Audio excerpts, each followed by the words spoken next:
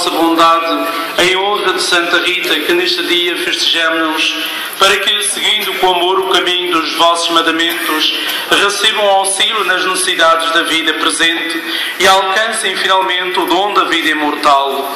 Por nosso Senhor Jesus Cristo, vosso Filho, que é Deus convosco, na unidade do Espírito Santo. Amém.